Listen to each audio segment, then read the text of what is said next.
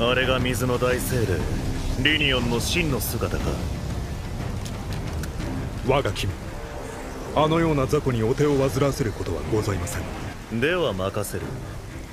一撃で片付けたならどんな褒美でもくれてやるぞ。ありがたきお言葉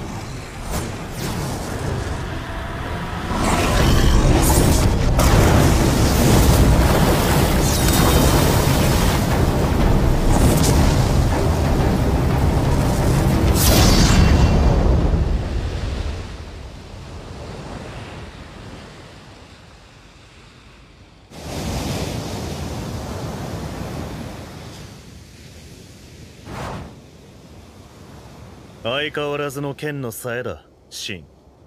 褒美は何を所望だ？願わくば転生する許しを。ほこの剣は我が君に捧げたもの。